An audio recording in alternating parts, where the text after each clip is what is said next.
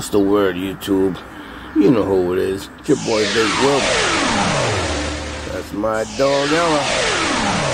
Life after prison. Let's run it. What's the word? Life after prison gang, you know who it is. It's your host. your boy. It's me, Big Wil. That was my dog Ella. She out here looking at the neighbors seeing who's going on, what's going on in the neighborhood. Keeping watch. The clouds rolling in. We're about to get some thunderstorms out here. Kill all that humidity. Anyways, we're back. You know what to do. Hit that like and subscribe button on your way in. Ooh, that thunder sounds good. I like the thunderstorms. They're so serene and calm, takes all that humidity out. You know how shit just sucks and it sticks and oh that that that rain it just cools everything down and makes everything just beautiful. Anyways, so we're gonna get into it. Um, this story I had when um, it was one of my bids. It was only a short bid I had, probably six months we had um it was right around Christmas time. Um we had we was having a little party. We went and had um we had a, a little celebration. it's no secret I tell you is all I've told you before. Um I was back into drugs back then and um I don't know more. jack now, right? Huge. Ah, right? Again, you just can play with the tooth. My son knocked it out 10 years old. Not none of you BS bitch. Kidding. Yeah, my son teach him how to fight, broke my tooth in half. Nice, right? But um it was Christmas time. 2008. And uh I had went in on a small I had went in on a small bid. And um, we wanted to have a good time. You know it was Christmas time so I had somebody bring something in. And um, we all had a little party. Now when when you, when the whole block has a good time and I'm, I'm one of them people I share with everybody. You know what I mean? I'm, I'm a giving person that's what I am. So if you want to give me some like and uh, subscribes, I got you. Want to hit the Cash App? Look at the description. I take PayPal too. But uh, no, so we're having a good time. And uh, I had the whole block faded. We were good. Some people can't handle it. You know what I mean? Some people just, they get sloppy, real sloppy. And it's everywhere. You can, uh, there's a there's a joke that they have in uh, our local prisons out here. If you want to know who the Fall River guys are, throw some Klonopins on the table. You'll see all uh, you see who gets high and who fights later. We all get high and fight with each other and whoever else once we get high. However, at this time I had heroin come in and everybody everybody got turned down. We all had a, a nice, nice Christmas. Well, we had one guy walking up and down the aisles with his eyes closed, head cocked back, and he was uh, singing uh, I love rock and roll. He was a mess. This is going 3 o'clock in the morning. No shirt on, eyes peeled back. At that time, you know, you just being yourself, going yourself. You know, own yourself, sit down, relax, and enjoy it. But no, the kid's name was Melon. He had a good time, and he used no melons. Shout out to Melon, Brian. Again, I don't say last names, but um, him and uh, another friend of ours, he's passed on. Uh, rest in peace, Johnny Ponce. I gave his last name because he's passed on. He can't he can't take no retribution for anything. But they had found him sleeping in the bathroom. He was just out cold on the toilet, right? And, you know, head all down, uh, and them two were in the same, um, same room together. We were in the mod at this time. And I think there's eight rooms or nine rooms. One, two, three. There's like there's like eight or nine rooms. Five on one side, four on the other, and there's eight men to a cell. Three double bunks and two single bunks. Excuse me. And um, but they were in a room across from us, and they had eight guys from Fall River in their room. My room, we had eight guys from Fall River. The next room, there was like four guys from Fall River. Um, three from New Bedford, something like that, and one from Taunton. Um, next room we had there was it was like uh, a couple guys from Taunton, one excuse me, one or two from Fall River. But we had a lot of guys in the block that were from Fall River and stuff. Um, and we all we all um, we all got high, right? And so by them two guys going to being on camera at three in the morning, um, they brought heat. By me going to the phone, now we were supposed to be in a small engine repair class. I was on the phone. I was I went in, signed in, left, went to the phone, which was the the the class was right in the day room. Any of you who who have been here in Dartmouth, you know what the day room is in the mods, right? So the, the class is right there in the day room. I'm sitting where I'm supposed to be at the table in class. I'm sitting off and I just signed in, went to the phone, called my girl, and I fell asleep. Well, I had people wake me up and blah, blah, blah, right? Now, when you're in the streets and you're getting high, you can, you can handle it, right? And, uh, you know, you can really tell someone who's getting high, you know? This is, you know, they just, they go, they have no muscle control and everything droops, right? Everything droops and, you know, you, you can just tell it's, it's gross looking. Really, really gross looking. You don't know it when you're doing it.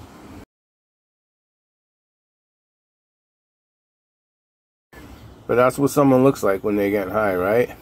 And, um, long story short, there was a whole bunch of us. We all, we all got, now the next day, like I said, them two guys got lugged for the middle of the night. There was me plus a few others that were on camera, and I mean, everybody was racked, right? So the next day comes, and um, it was two days before Christmas. It was Christmas time, but it was two days before. I'm laying in my bunk, and I feel a kick in my bunk. I got my headphones on and I'm jamming out, you know. Now, once these two got, once the other two guys got lugged, we knew the team was coming. We knew the dog was coming. We knew it was going to be a shakedown. We knew because, like I said, I was on camera wrecked. There was a couple other guys on camera wrecked, like the whole Fall River dudes. We were jammed, right? Everybody was all fucking jammed and going crazy. So they come in and they they come in and they lug a couple guys. Well, they come in and they grab me and they take me down for a urine the next day. At the time, they didn't give us a urine. They gave us, they were swabbing us. So I had the lieutenant come in and he took me down to medical and he checked all my vitals.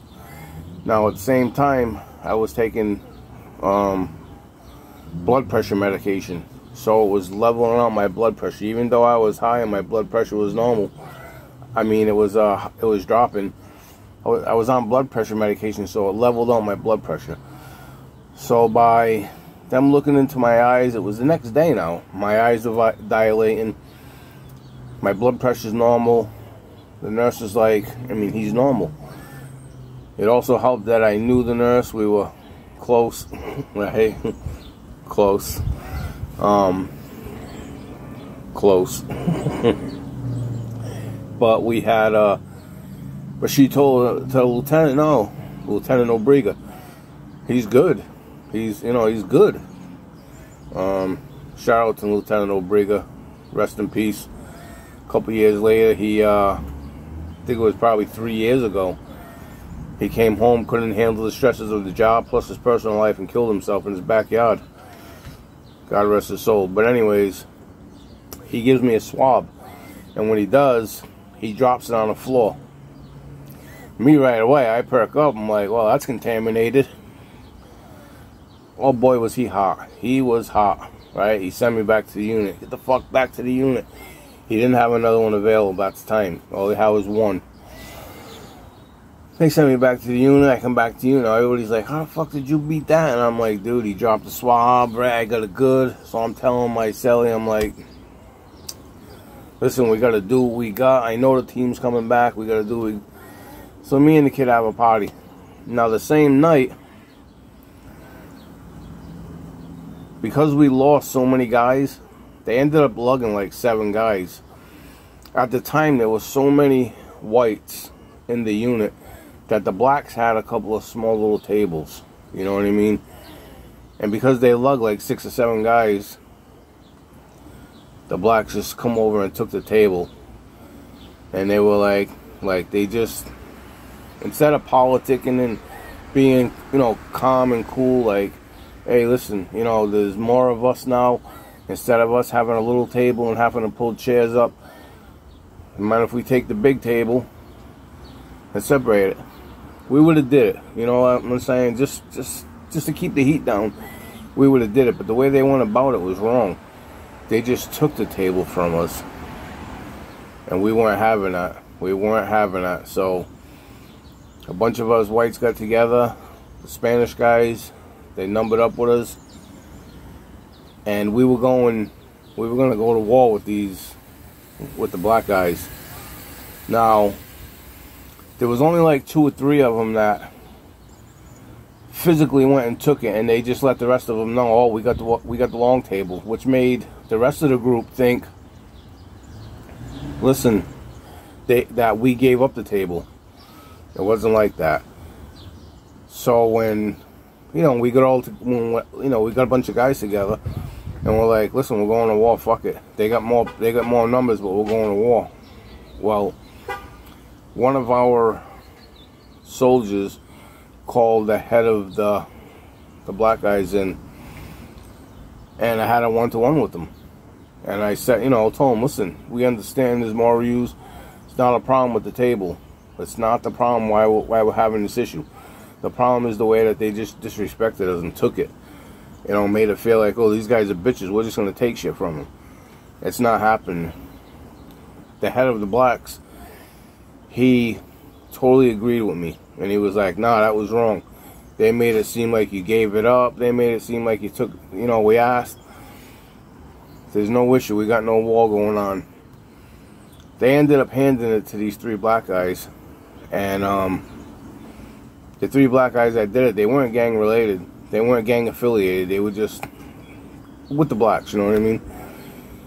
They put it to these three black guys, made them roll up their shit and leave because of the disrespect and the way that they were causing a I want how you want to call it racial racial war what happened um they had a lot of guys we had bigger guys we had crazier guys. A lot of colored guys don't stab.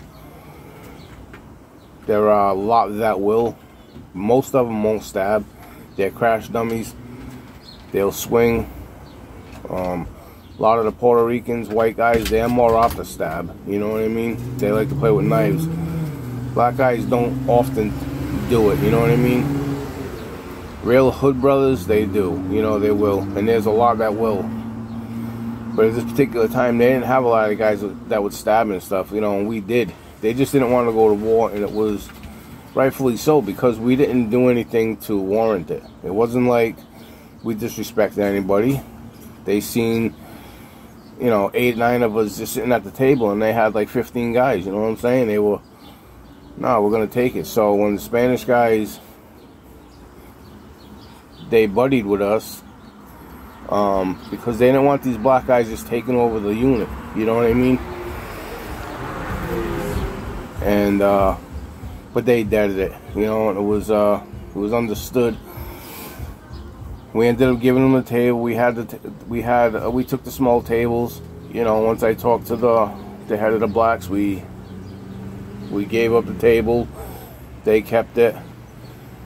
It really didn't matter to me anyways, because the next day they came in, grabbed me up, scooped me, took me down for a uh, urine, and me and another guy from New Bedford and one from Taunton, white guys, we all got lugged. So it was a good thing that we didn't go to war, because had the next day came when another three guys were left, the rest of them there would have got stomped out. You know what I mean? And it would have been bad for them, but it all ended well. Um, they got the table.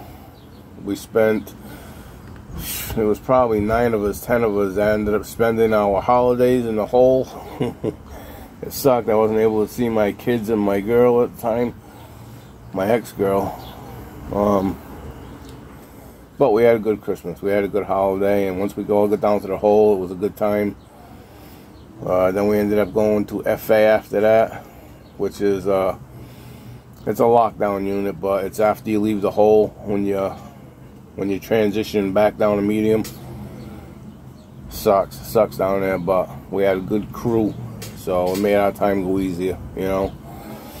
But it was just a little story of how disrespect can make a a normal situation go south when it don't need to you know, and just a little speaking and understanding and letting the other set know, listen, we're ready to go win, lose, a draw. You know, that disrespect shit don't fly. When when when you give them respect, you get respect. You know. With that being said, it's your boy Big Wil. Like my number one thing to let you all know: stay out of prison. You won't need to deal with that. You, there's no worries if you just stay out you'll be okay. Do the right thing. Stay positive. Be a good person. You don't have to worry about prison and all that entails. With that, let's hit the like and subscribe button. Appreciate you all that have been here. Let's help this channel grow. Again, want to hit my Cash App and my uh, PayPal? it's all it's all accepted. I thank you very much, and everybody have a good day. Peace. I'll see you on the next one. Life after prison. Let's get it.